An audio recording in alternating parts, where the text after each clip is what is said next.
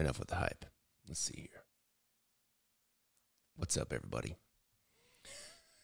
Hope everybody's doing good. I was so pumped to make a new little intro loop last night. I was so pumped. All right. So here's what we're going to do today. I got my little Lord of the Rings playing card template out. Now, I know, I know what you're probably wanting is for me to dazzle you with some extravagant court card or something like that. But with this long and unexpected journey we're about to start here, I wanted to keep it pretty simple at the beginning, just because uh, it's gonna be it's gonna be a lot of work, and I wanted to do something easy and fun, and I was also tired of exhausted from Wizard of Oz that I wanted to try something easy in the beginning.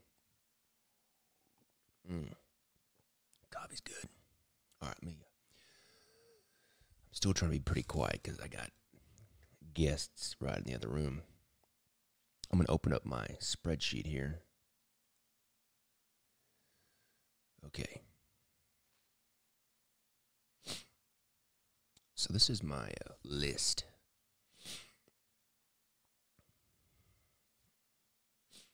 Now, um, don't pay any attention to any of this stuff over here or any of this stuff down here.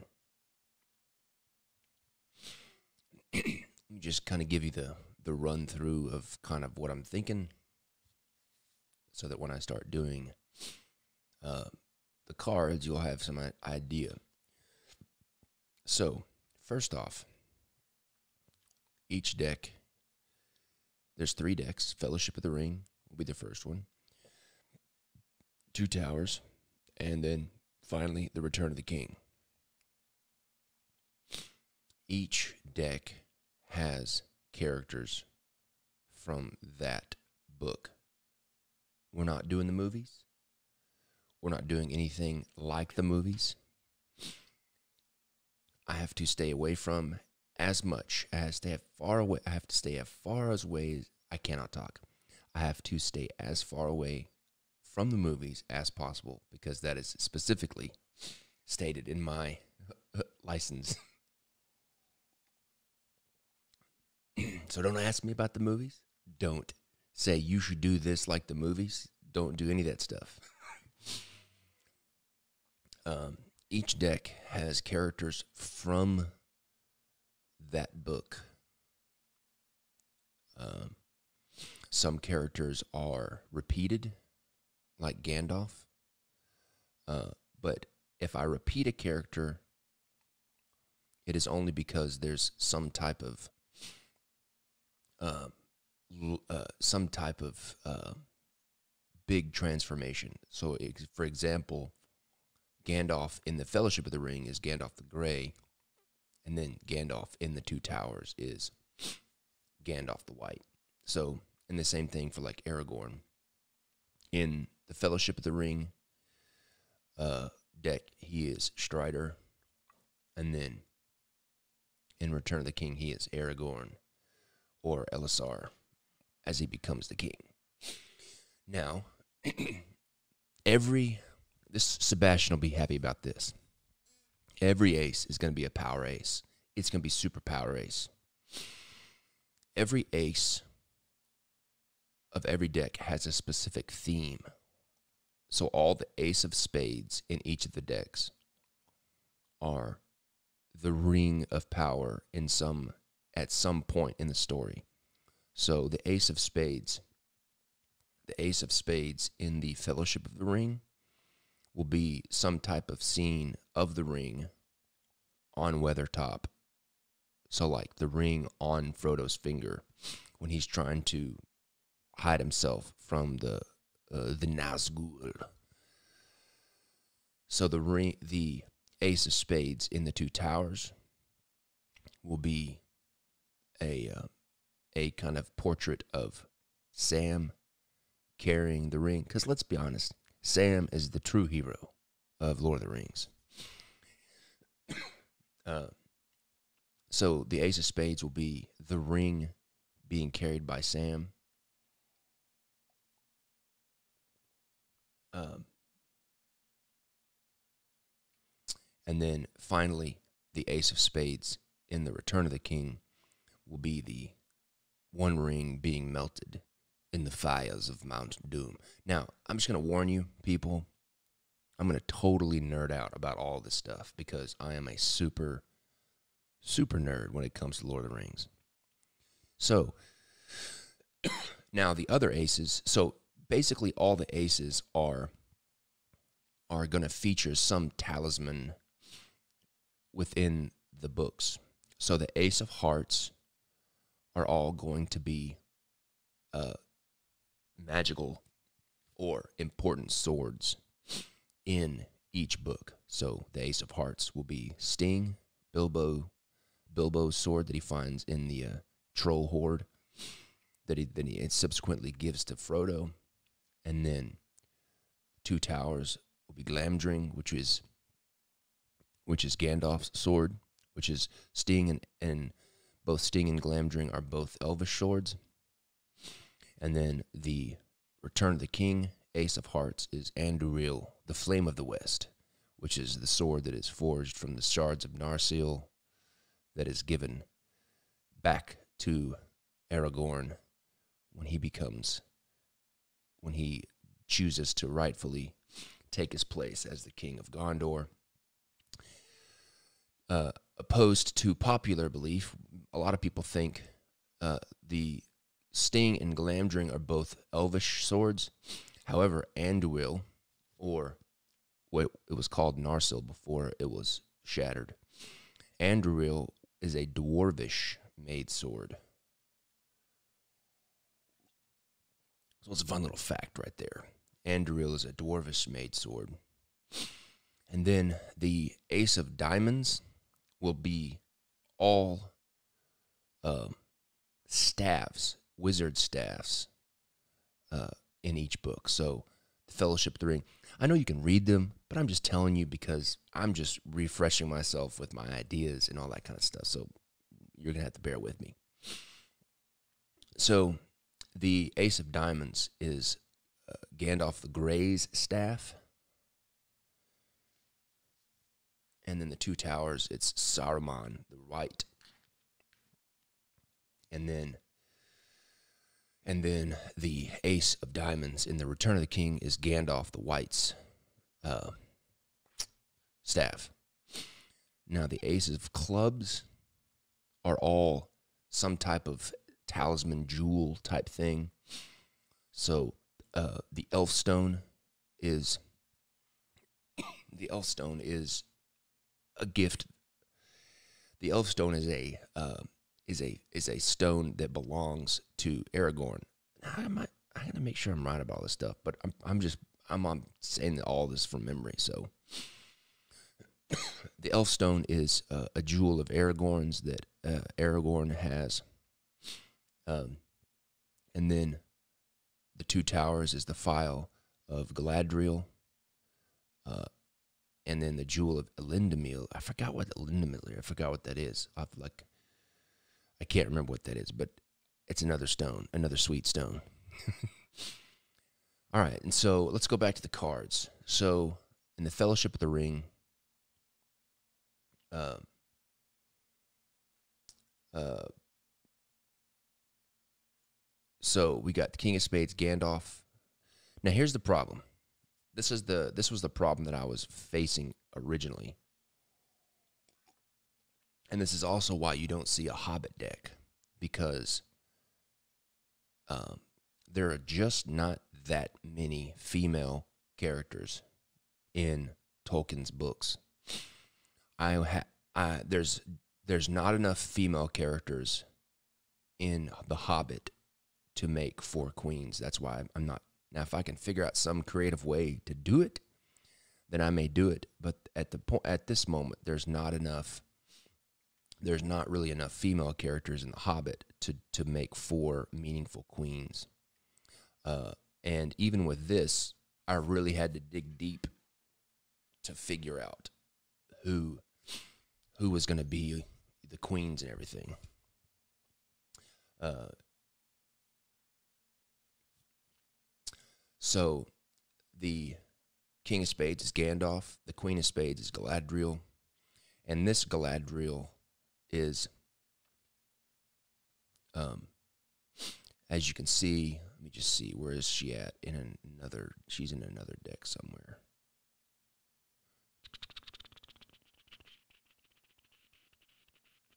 Okay, so you got Galadriel.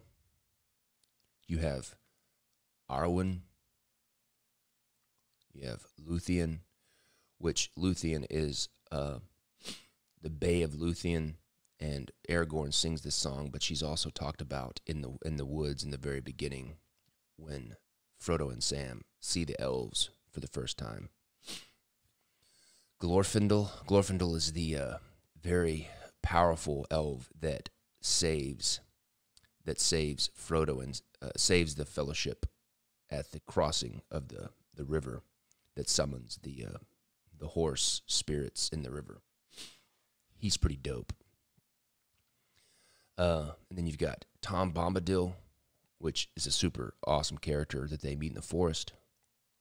Uh, we can talk about him later. You have Goldberry. Goldberry is Tom Bombadil's wife. And then the Jack, Jack of Clubs is going to be a dual card of Merry and Pippin together. And then the Jokers.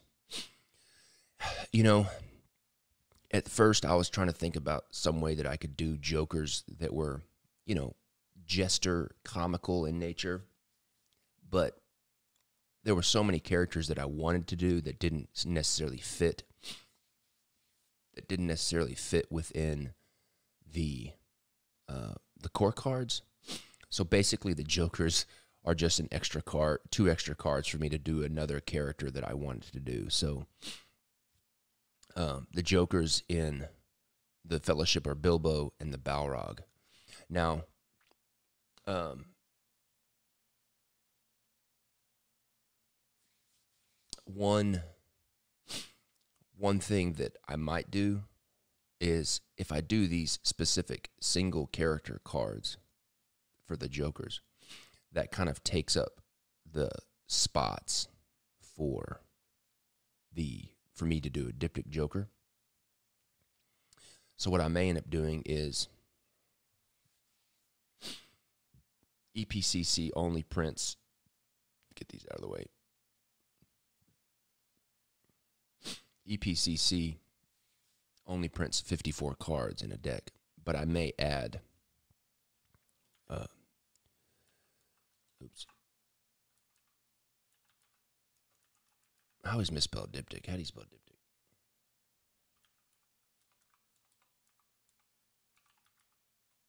It's D I P. D I P. That doesn't look right either. Dip.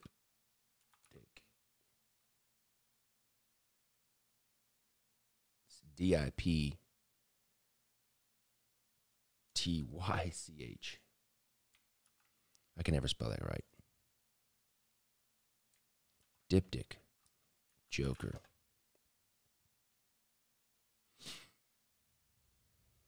We'll just call this Diptych Joker 1. Diptych Joker 2. Um, uh, Jill has a good question. Uh, uh, does this mean there will be three decks released at the same time? there will absolutely be three decks, but they will absolutely not be released at the same time because because the way my license is set up, I have to have all the artwork finished and approved before launching whatever, whether it's a product, a Kickstarter, or whatever. And I want to begin this process. And part of that process is me launching a project. So this will be a three Kickstarter project. I'm coming out of retirement and I'm coming out of Kickstarter retirement and I'll be doing these as three separate Kickstarters. That way I can really focus on each. that way I can focus on each deck. And also it's more it's more really just so I can get the product out there and get it going. Um, so what I may do is in each what I'm thinking about doing is not doing a diptych joker in each deck. What I might do is this. I don't know if this is going to make sense. Uh, one, two, three, four, five, six. What's the word for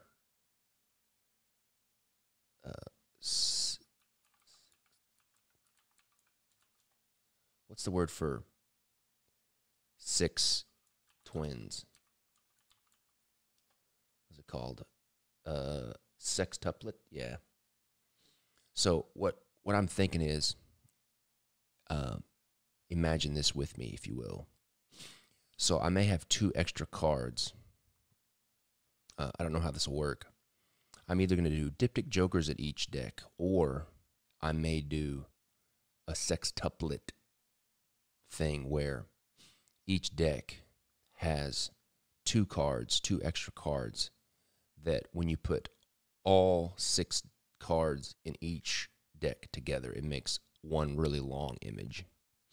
So it'd be six cards long and it makes a really long image. And I think I might do some like panoramic panoramic image of like the fellowship walking or something like that. I don't know. But that'll that will be my opportunity to make some real big sweeping image. Okay, so we'll we won't go over the characters in these two just yet. Uh, but the so we'll just start with this.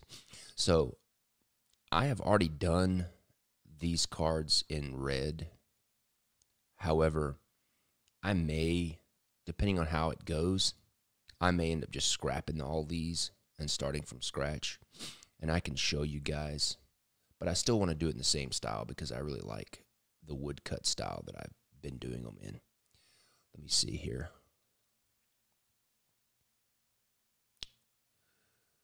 Uh, try to find them. Here's Tom Bombadil. Maybe. I haven't opened these files in so long, they could be the wrong ones.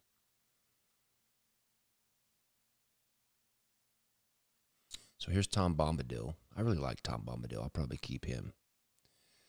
Uh, and you can notice that um, he's got the ring in his hand, and then it's not in this side because in the book he talks about how he, first of all, Tom Bombadil is one of the only people that has no the ring has no effect on. Uh, um, and then you can see that it's in one hand but not the other because in the book he, it specifically talks about how he flips it up and twirls it in his hand uh, and he makes the ring disappear and so that's why he has it in one hand and not the other let's see here let me see here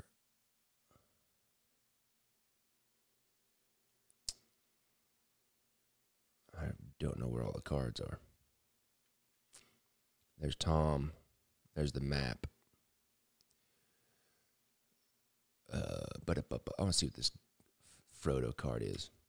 So here's the Frodo card. It's just a test card I was making.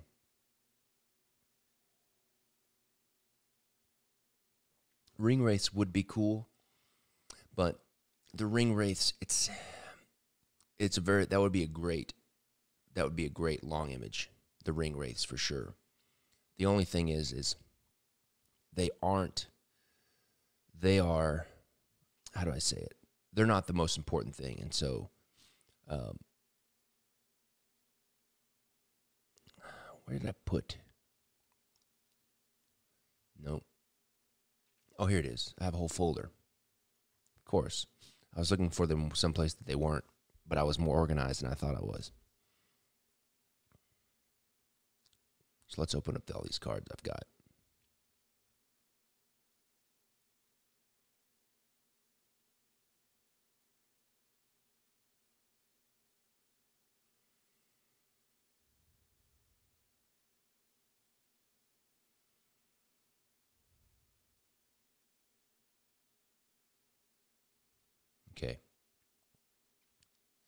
So there's Tom.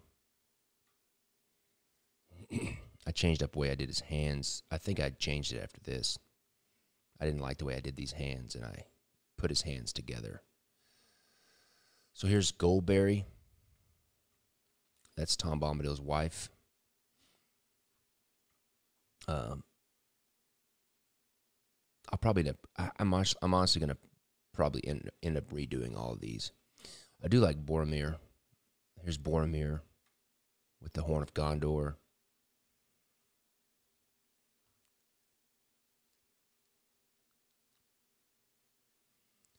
There's old chubby chubby Sam with his dirt and seedling. That was the gift gift from uh, Lady Galadriel. And then there's Frodo with the ring.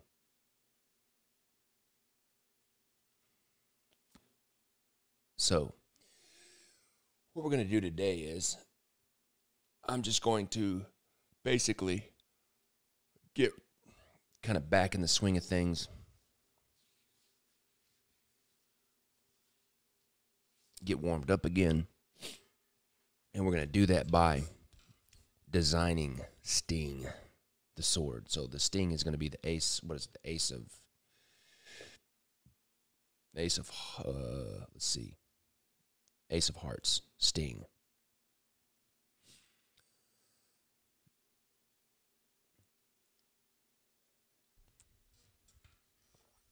All right.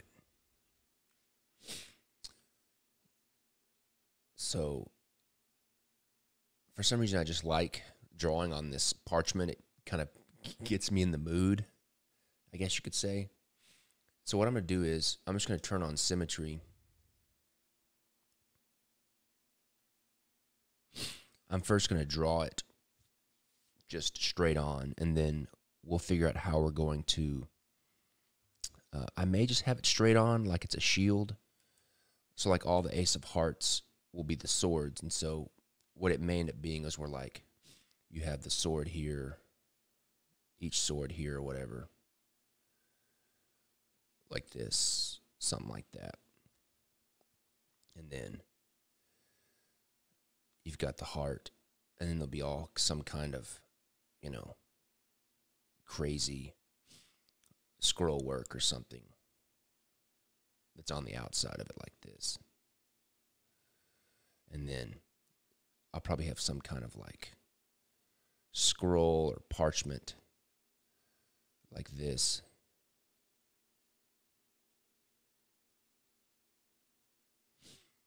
You know, something like that.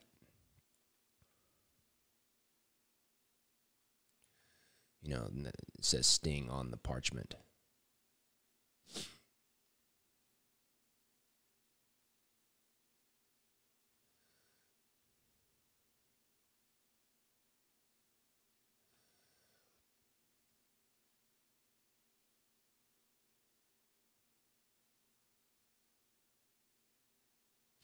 something like that.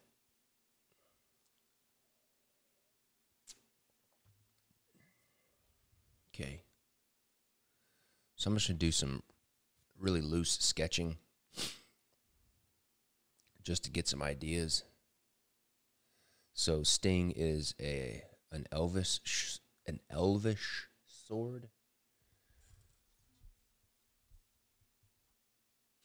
CJ Ricks.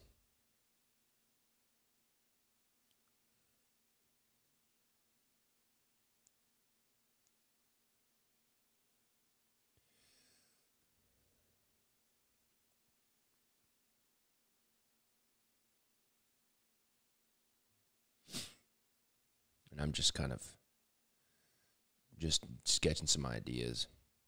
And I'm purposely trying to make sure that I, I mean I may do a leaf blade for Sting, but other than the leaf blade, I'm going to do my best to try to stay as far away from the movie swords as possible.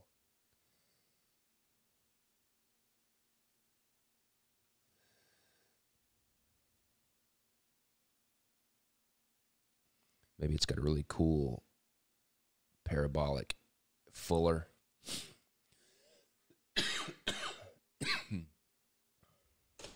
Oops.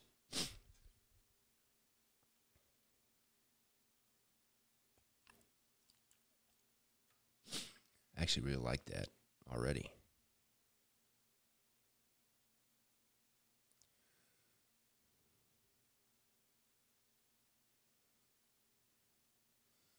Maybe, this is some kind of like, maybe some kind of flower bud or an acorn or something. I don't know.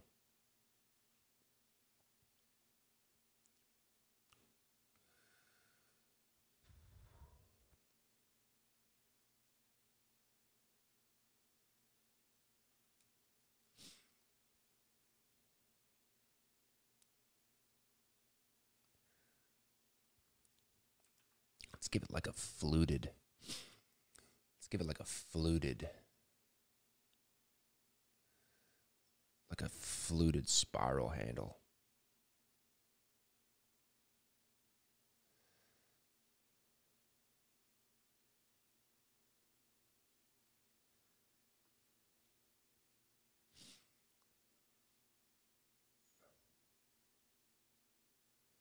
Yeah, that's cool. I like that. Then it has some kind of like ring down here that holds everything in.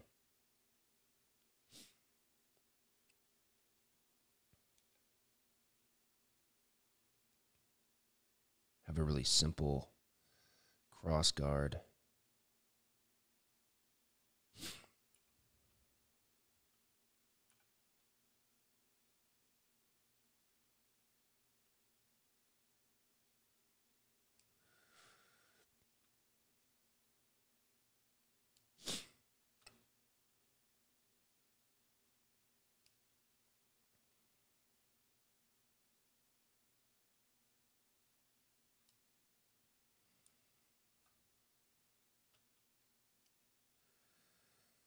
Man, I could draw swords for days.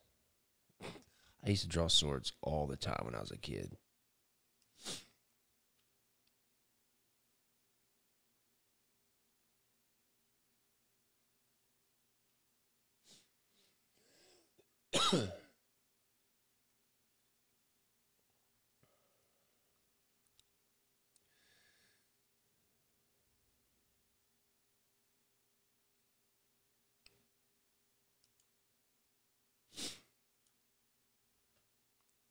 So each time I make a new layer, I'm just zooming in a little bit more and drawing a little bit more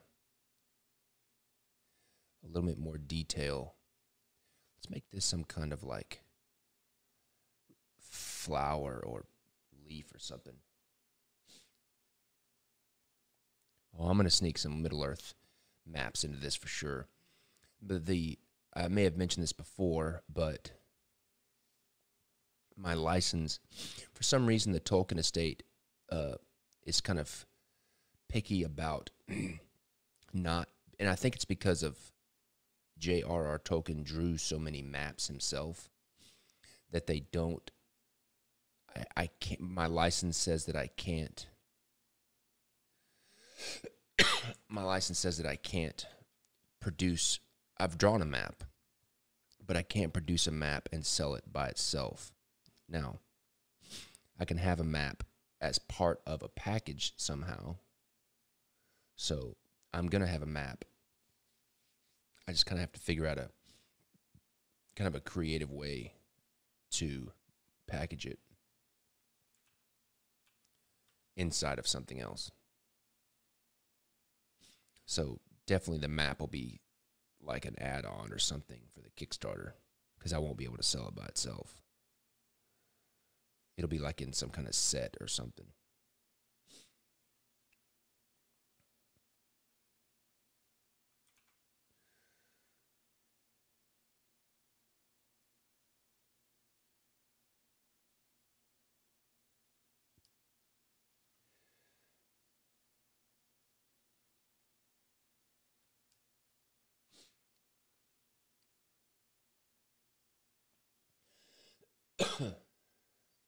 Yeah, I like that. I like that idea. I have thought about how to do a map on all the cards. I was thinking about doing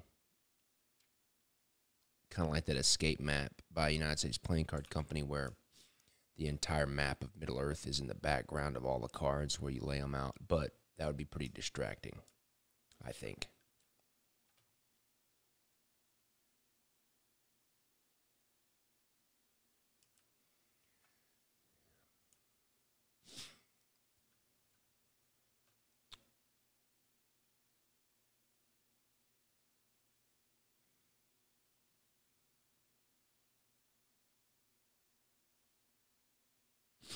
I like that. That's pretty cool.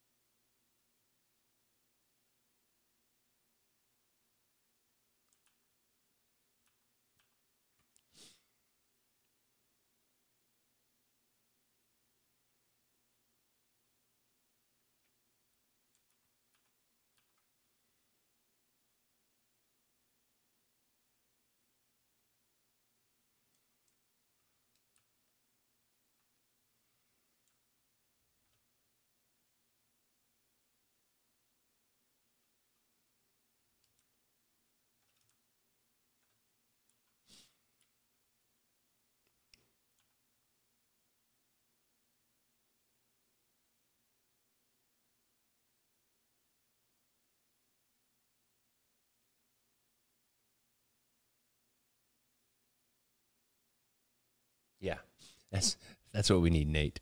Just just a non-distracting holographic foil stamp of the map, not distracting at all.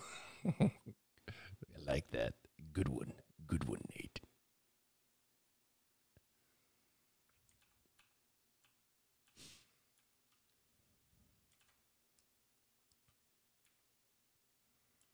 You know, just three three color foils and nothing nothing too bad.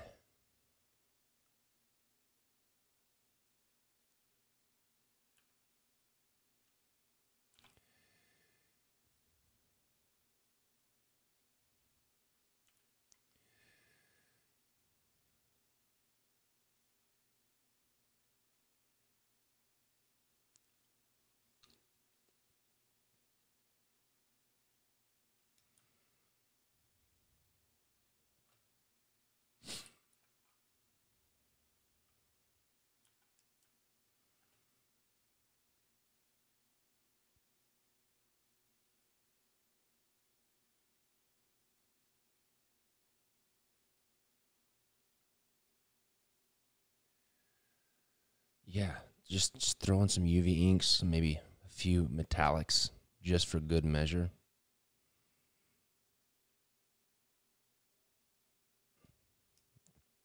Call it an industry first or something. When really there's no industry firsts.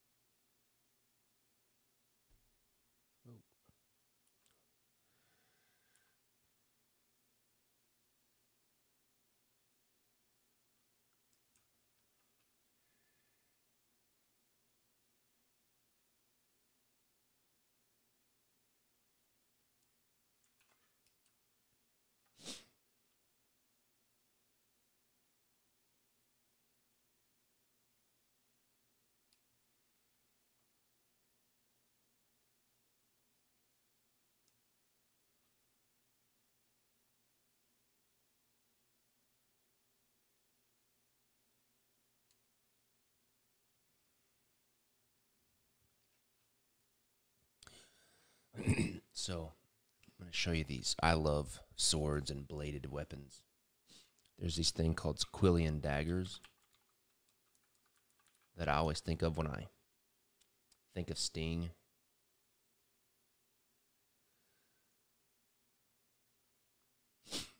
Um, let me see if I can find some really cool ones. And they usually have, they usually have these spiral fluted uh, handles, and then they have these upturned upturned uh, cross guards. But they'll have like you can see this one. Let's see if it'll give me an image. So it has this uh, spiral inlaid wire. I love that kind of stuff. Let's find some good examples. Like, look at this one. Uh, you can see right here, these little white stripes are spiral inlaid wire. And they would usually do like gold. There's another good one. Spiral spiral handle with inlaid wire. That one's nice. In the American uh, Bladesmith Society, you have to make a quillon dagger uh, for your master smith test. That's a sweet one. Look at that. I love that pommel. That's sweet. These are all awesome. That's a cool. Look at that pommel right there. I mean, that cross guard. Oh, look at that. That one's dope. Look at that. That looks like white. This is all Damascus and that white wire on the dark leather. That's awesome. I'm going to save that to my. Let's do. Let's make a new board.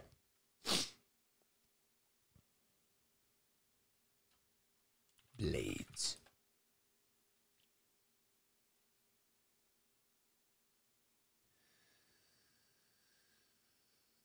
It's nice. Look at that.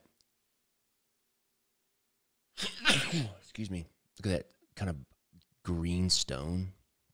What is that? Show me that. Where's that picture? Go away, stupid ads. Look at this. That's awesome. Look at that guy. That's a cool handle right there. It's nice and sleek.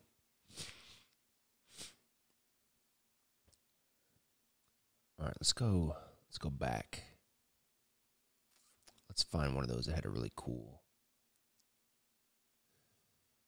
wrapped handle. Yeah, that one's awesome. I love the shape of this blade.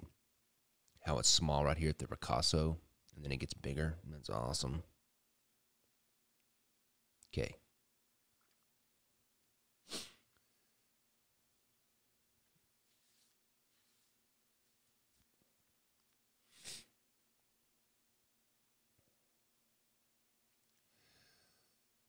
So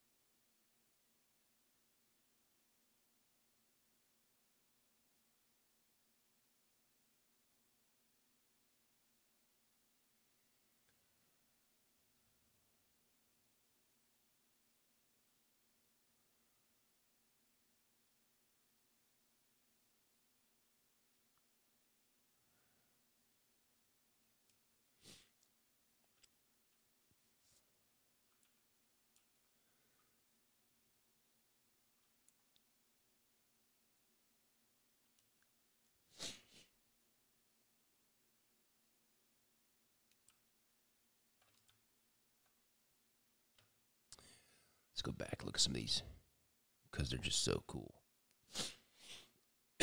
so like this one, you can see that it's got.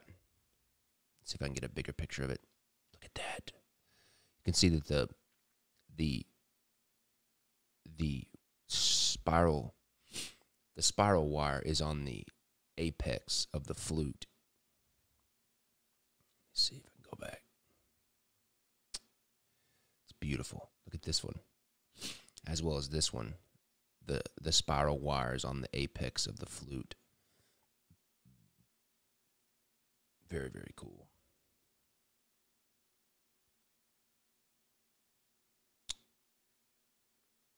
What? That's awesome. That's crazy. A little bit gaudy, but that looks really cool.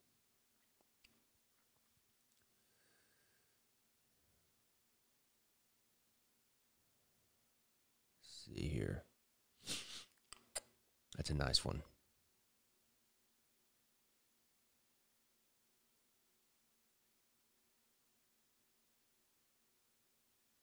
That one's got a steel.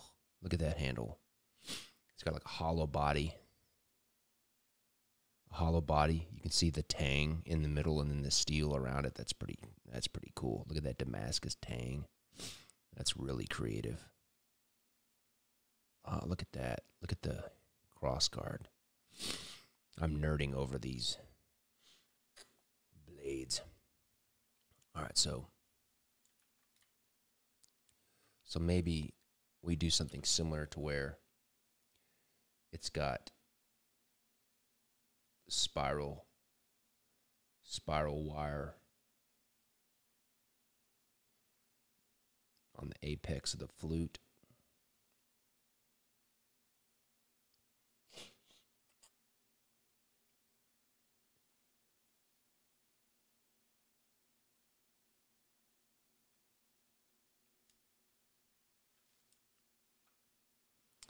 Yeah, I like that. I kind of want to repeat this kind of like three leafed pattern that I've got in the pommel right there. I want to try to maybe repeat that in the cross guard. Because, you know, the elves had the, the mallorn trees and maybe the, maybe this is like a mallorn tree leaf or something.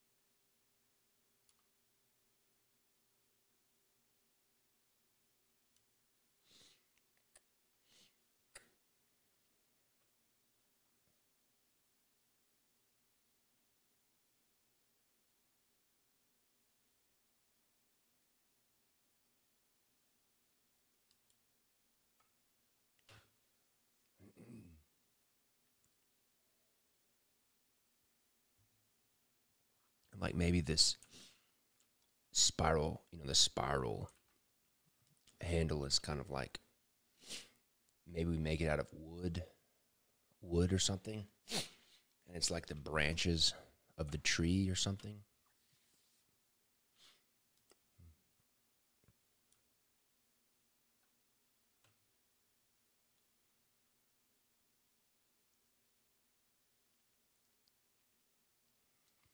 Feel like the sting is like in the hands of a like a human or something. It's almost like a dagger, a big dagger. And just for scale, you know, daggers. If you look at these daggers, some of them have like this one the the hand the cross pieces are you know, a little bit bigger. Only because the scale because the scale of the blade is smaller, it seems like the cross guards are bigger.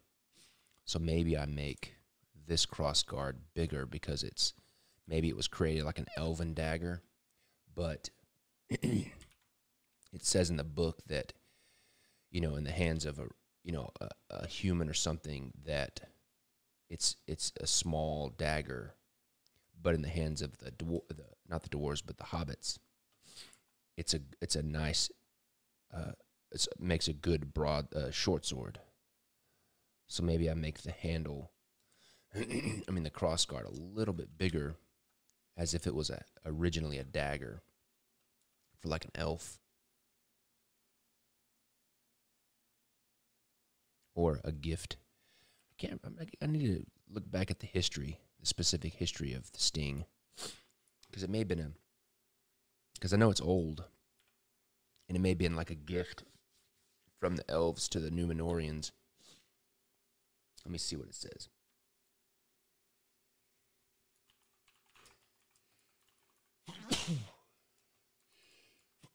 Excuse me. Uh, let's see the history. Uh, Sting was an ancient elvish blade made by weaponsmiths of Gondolin. Uh, it may have been lost during the fall of Gondolin, the same battle. Let's see, blah, blah, blah.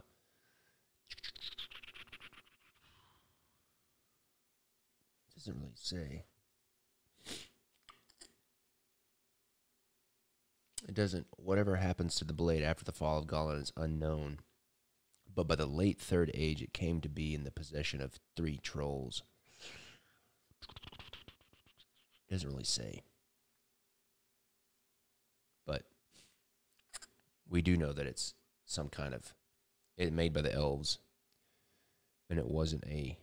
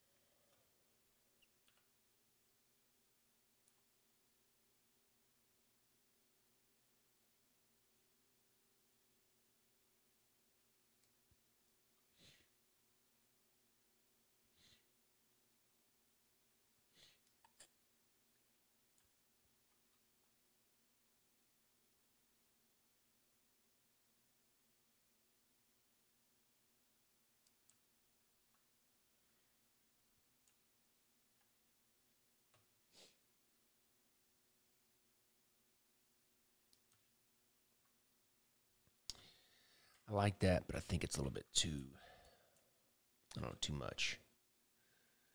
I do like the size though. Let me try the, let me just try this original size.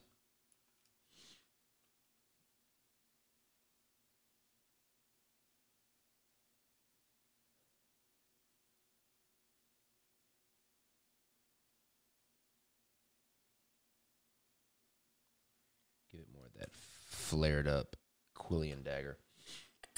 Let's see here. Let me go look. I really like that shape. That's really cool. No, I don't want to watch a video of it.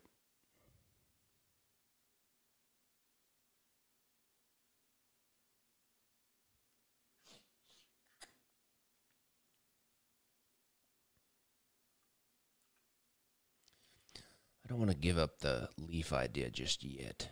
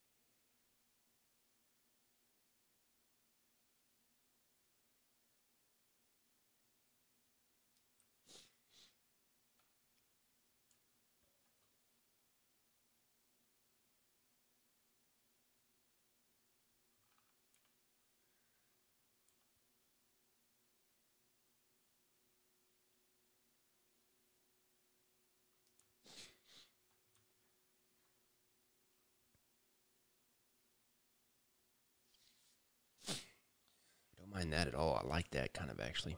It's very different than the movie sword, which is what I want.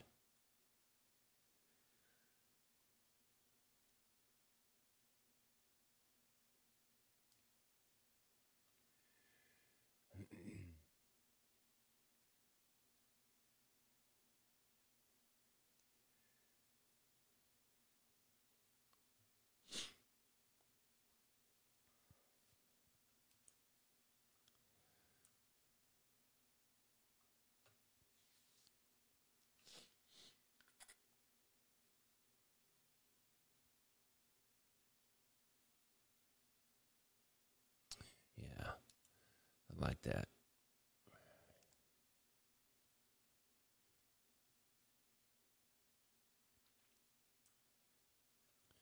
Let me rework this thing here.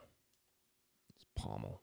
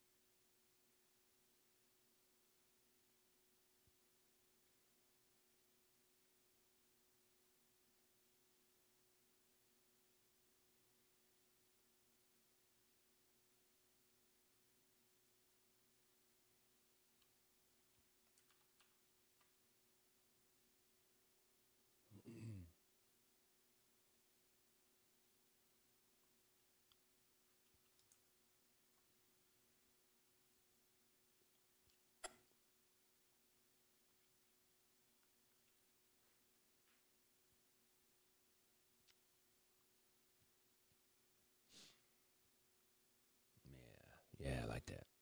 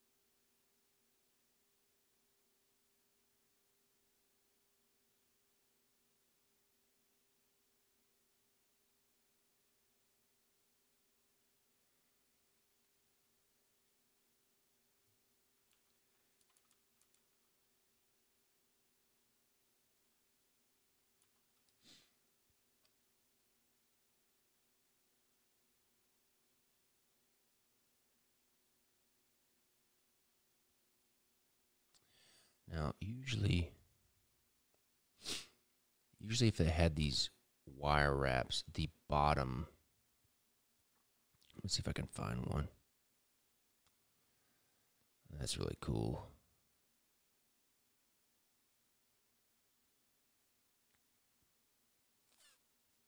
That's awesome. I like how that handle flares out.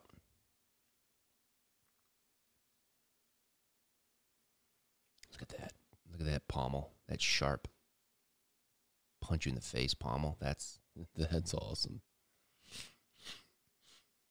That one's nice.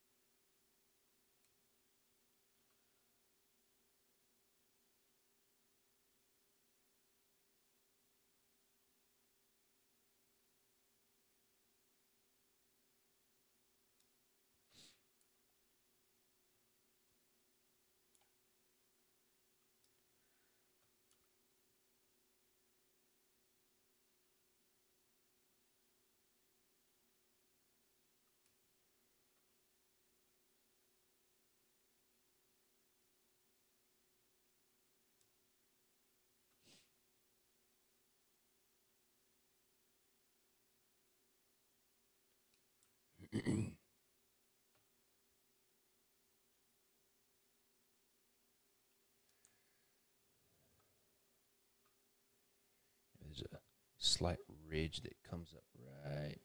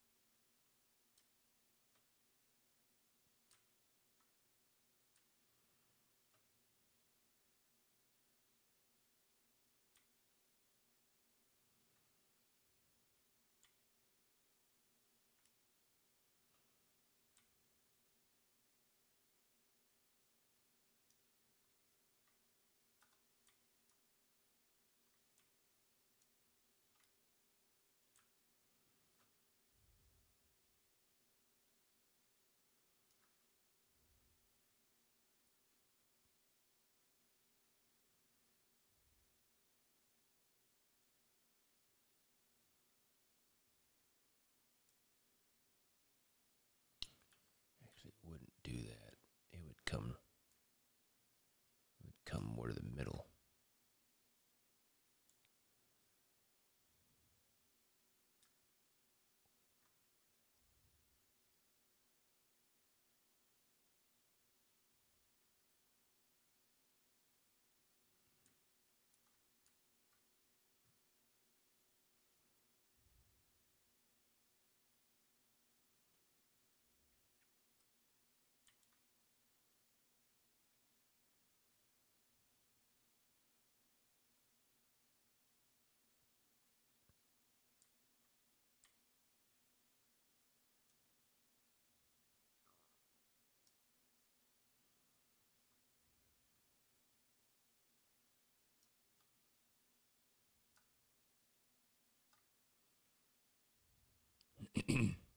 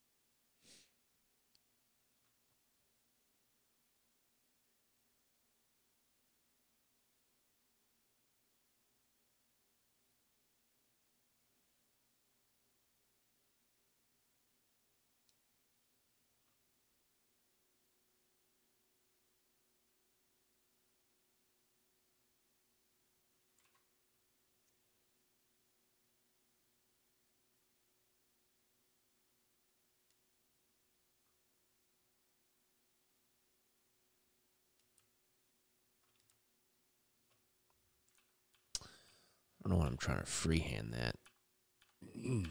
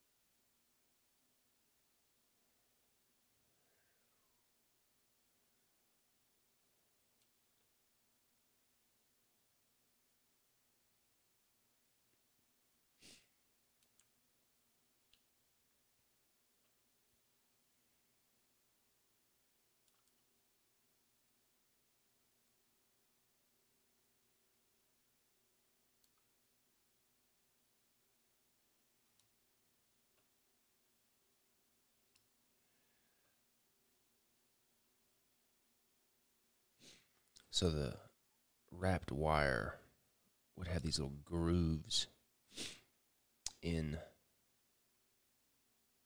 inside the handle that would hold the wire.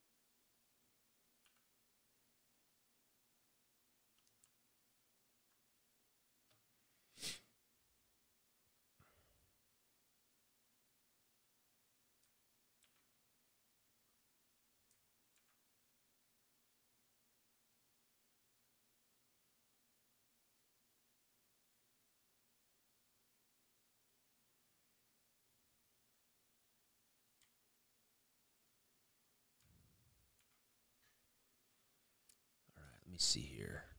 Let's bring this up a little bit.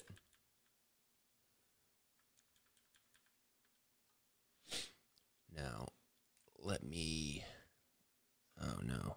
Did I merge that? I did. Did not want to do that. Get out of here. And that as well.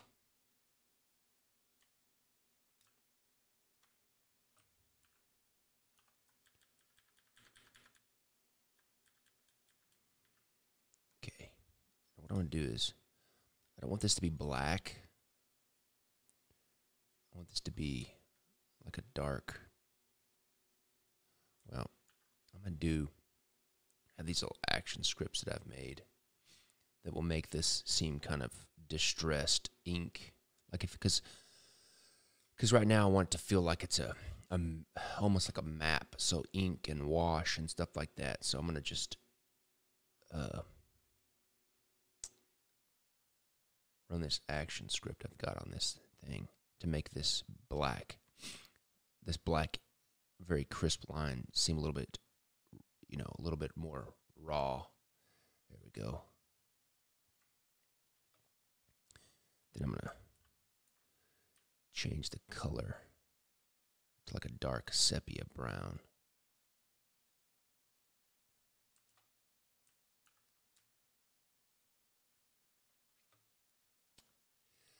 We're gonna do like a. We're not gonna do like a really. Sh- we're gonna color it. I'm gonna paint it, but then I'm gonna make it seem like a wash or like a watercolor. Because if it was like a map and then it was colored on a map, it would have kind of a transparent feel to it. But I'm just. I'm honestly. I don't know. This is. I don't know if this is gonna. I don't know if this is gonna be the way that I do it for the deck. I'm just kind of playing around, really.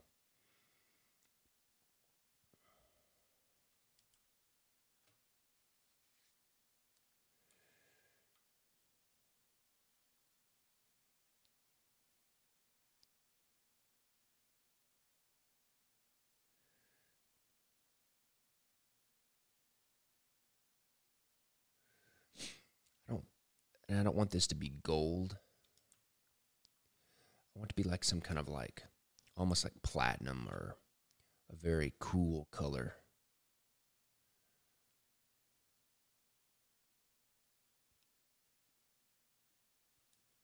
With like a dark, maybe a darker wooden handle.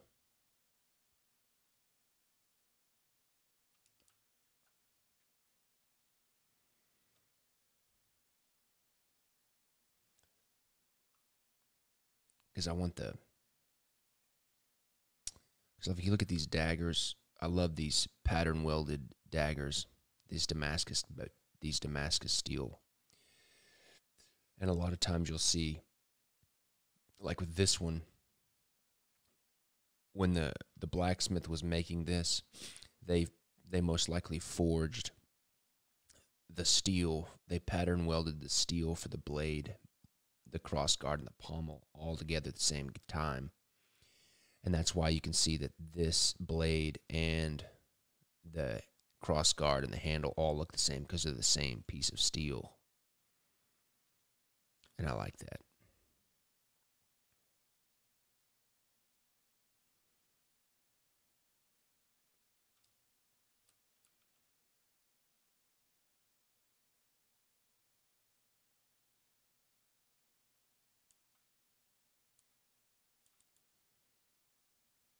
I may give the the handle like a green tint just to make it feel kind of like a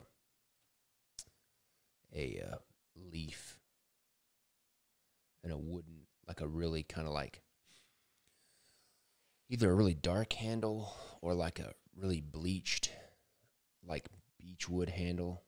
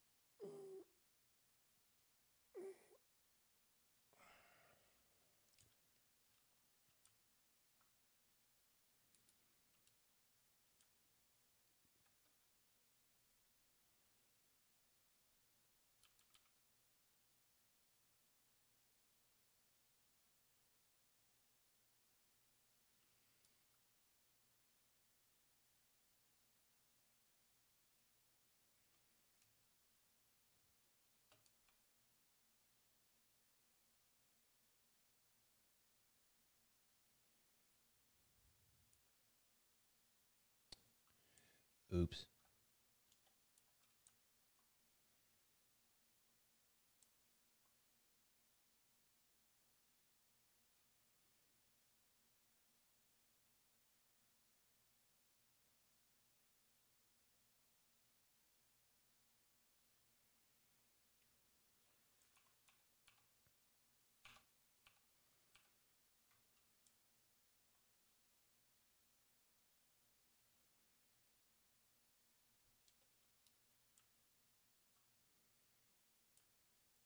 And then like the the wire and these little rings maybe are like silver.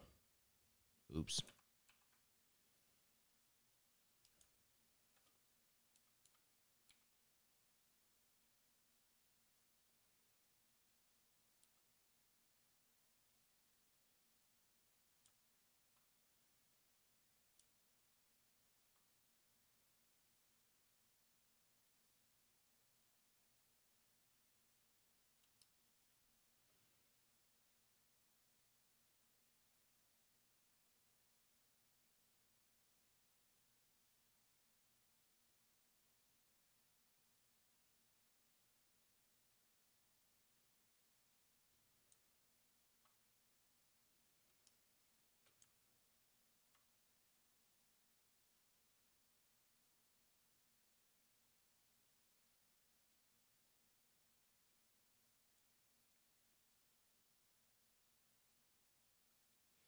Because it also all elvish blades have kind of a pale pale light to them when orcs are around but especially sting it it glue like a blue a blue light when orcs were around. So i want to have this kind of cool blue color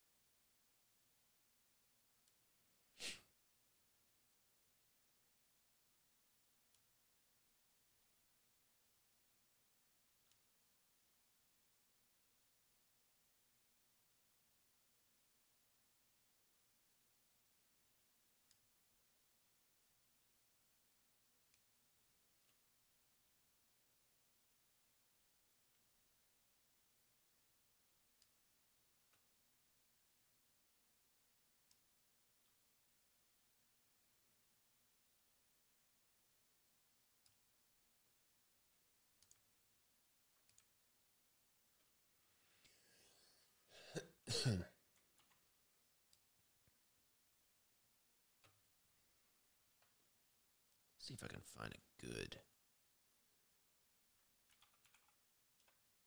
Damascus steel.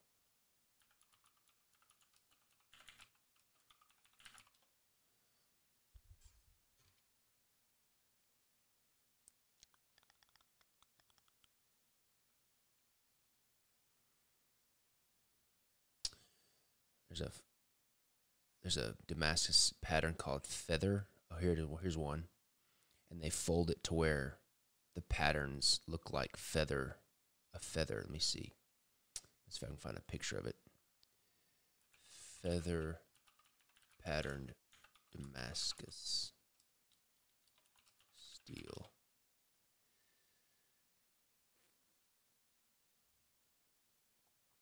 See, look at this.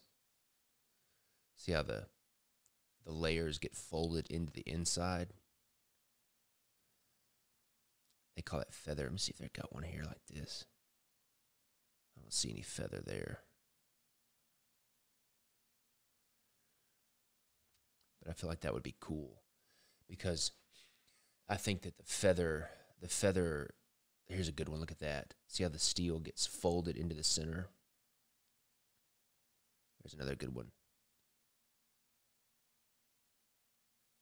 Can I? But I think that's it looks kind of like a leaf. I think that the feather, the feather, the feather pattern kind of looks like a leaf as well. Let's see if I can find a good. Look at that one. That's pretty cool.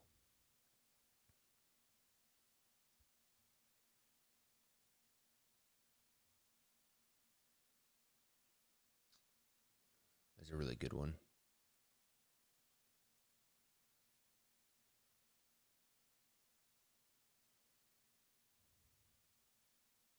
So that's where I'm going with it.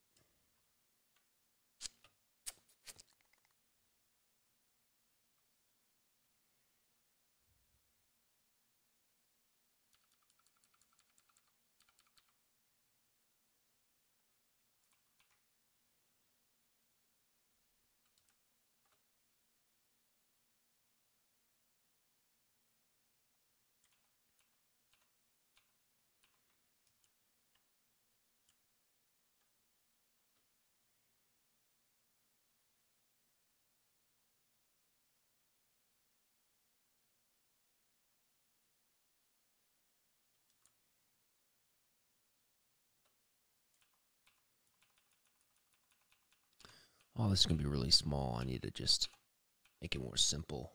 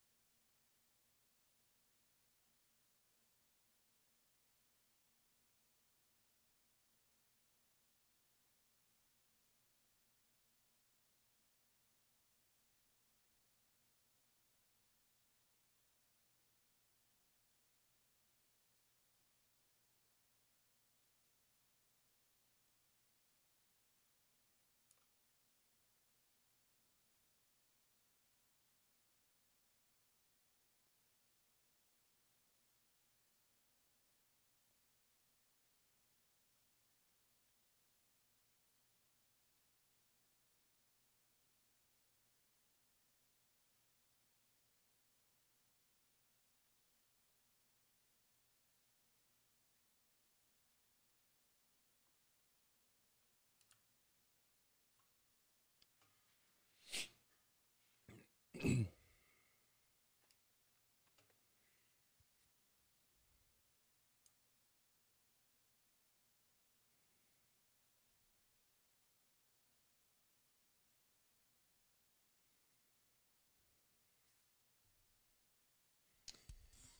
I'm going to try to recreate that feather pattern Damascus steel.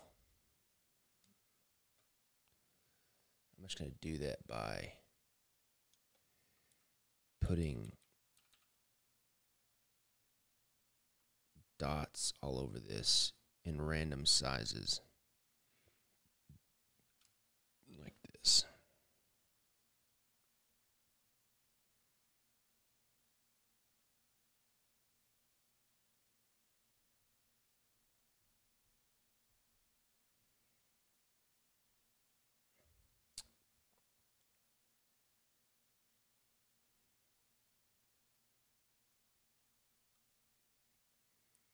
do a lighter colored one.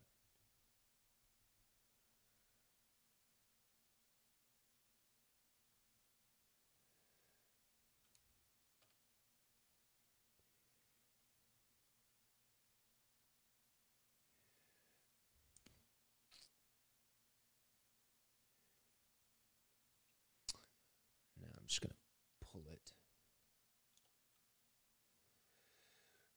Let me get it to where I can. S-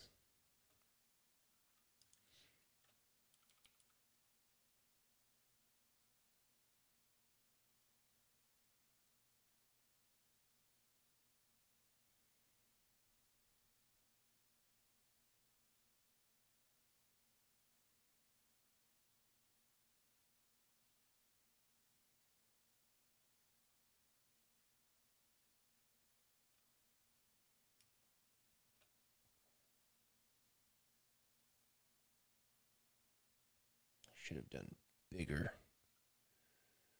bigger dots.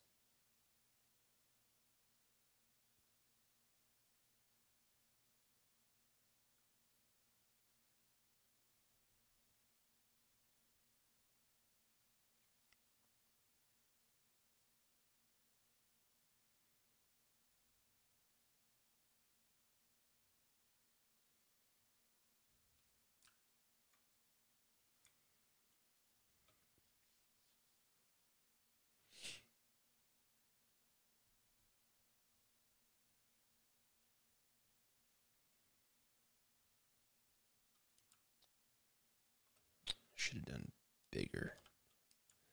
Try it again. Just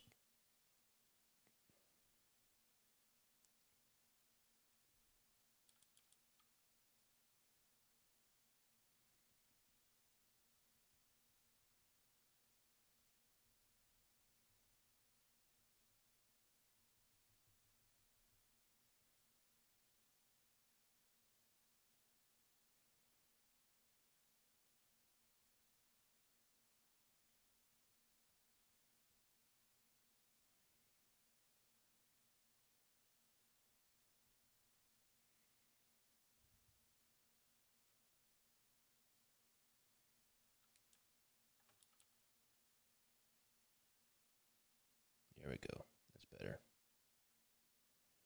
I'm going to pull those into the center like those feather patterns, Damascus steel.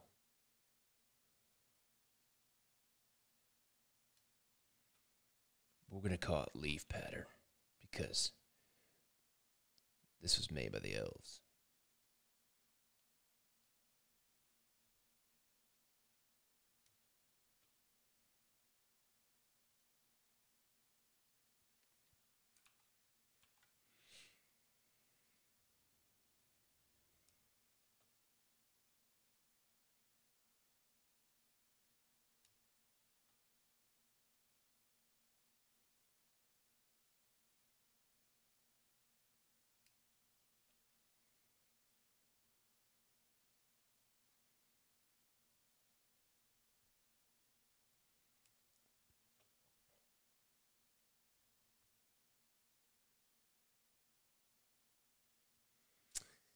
Sergey, Sergio, just relax, bro. Just relax, bro. It could be. I'm just playing around, man. and this can this this is to look totally different at the end. Don't be thinking this is final. Just get all just relax, bro. Relax. It's not like I'm turning the artwork now.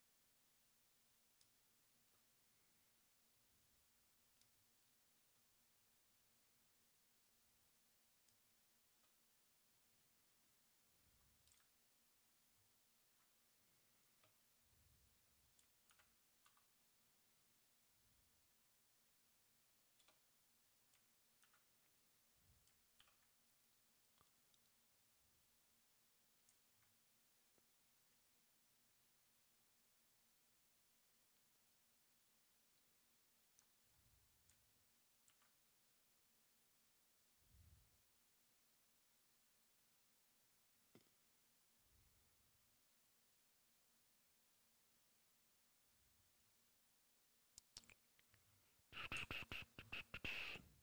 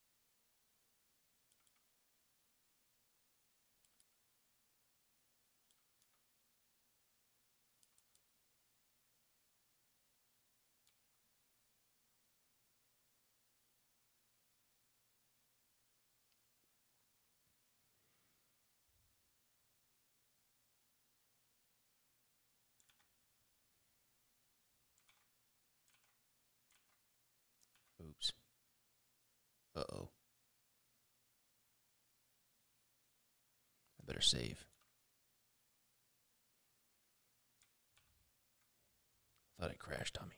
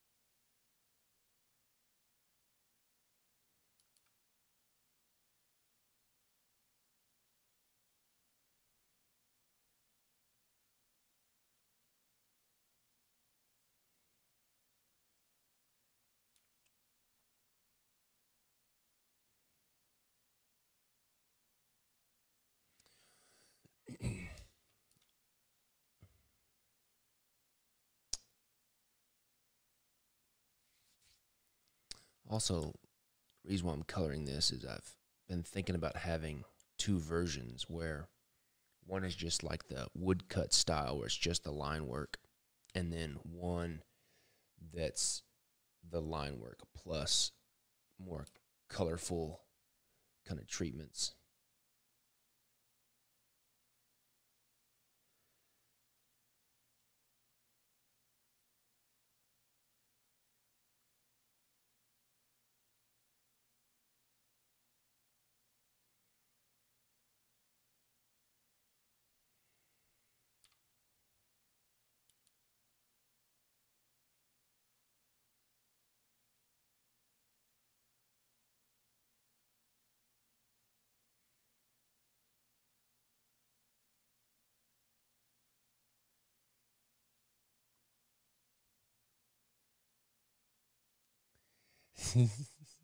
Sergio, Sergio, I love you. That sounds promising.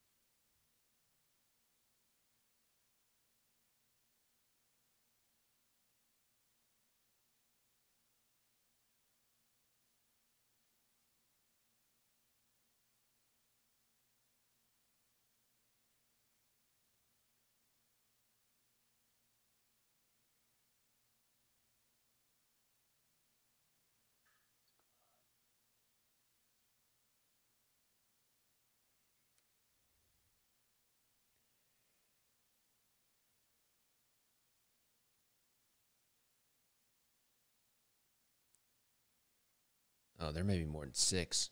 I don't know. I'm going to go all out on this. This project.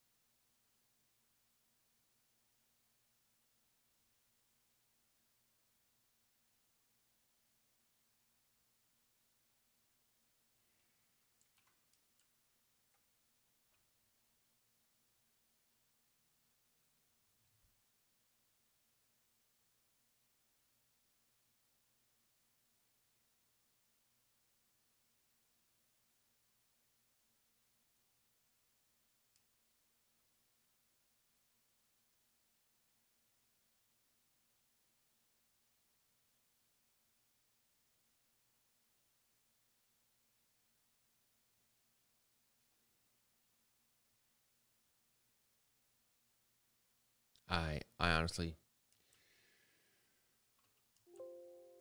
Oh, there'll just be there'll just be one version of the artwork. Of the base artwork. For sure.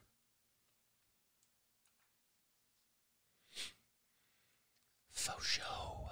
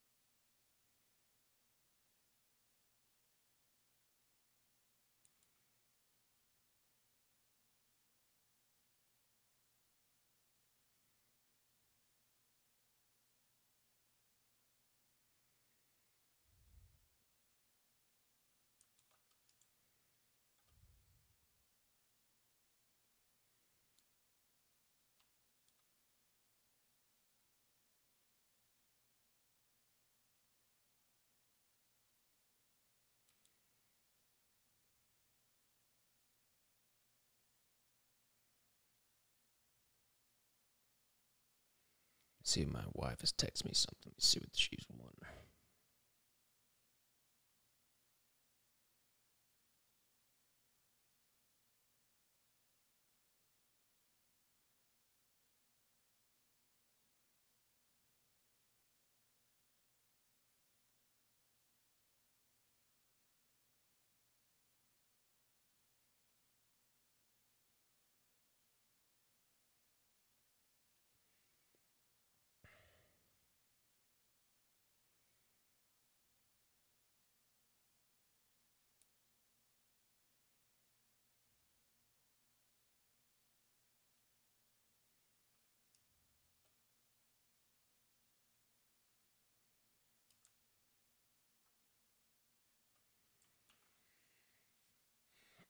Let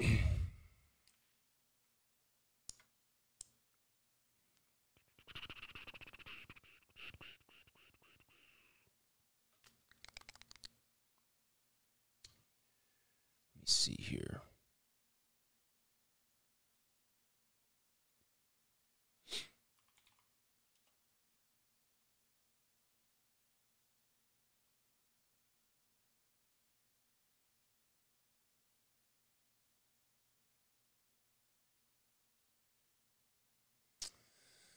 Yeah, I'm liking this a lot. Where's my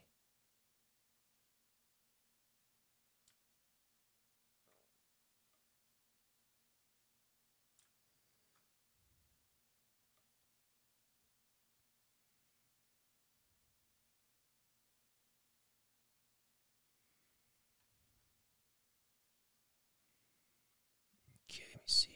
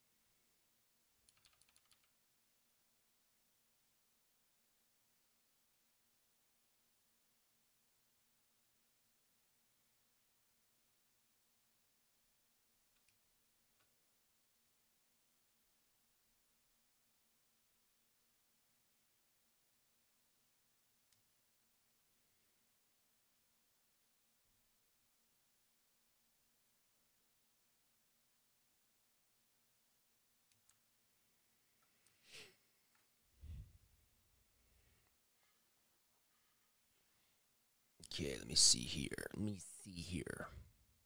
I'm going to take everything that's not the drawing. I'm going to group it. I'm going to duplicate it.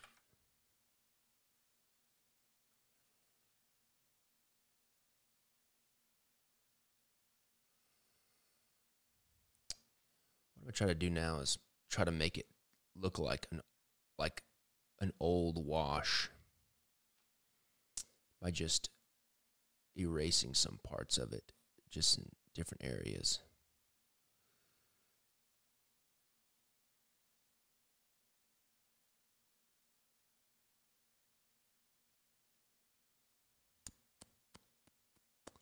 See you, Nate.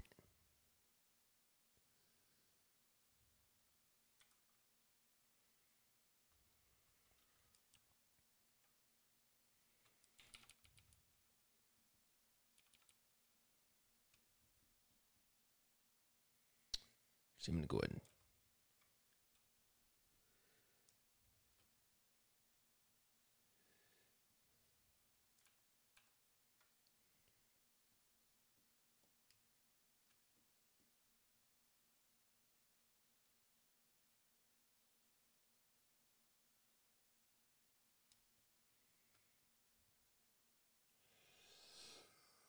and uh.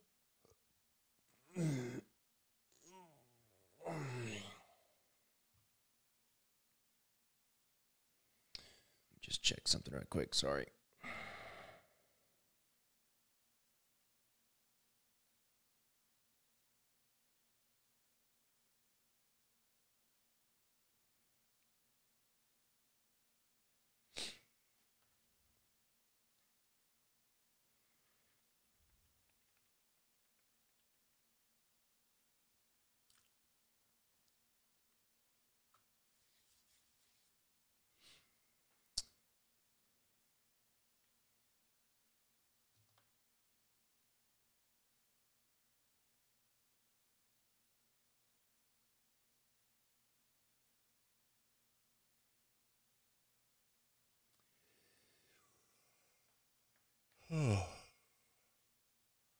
I really like this.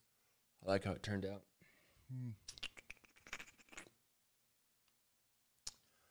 Uh,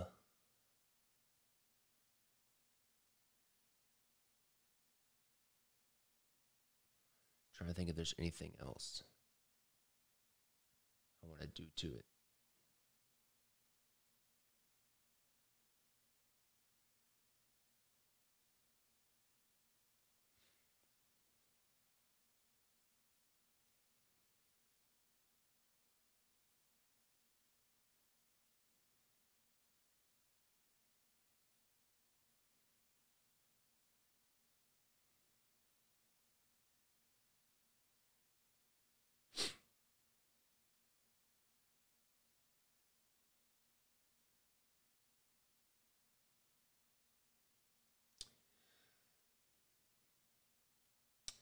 Think that's about it.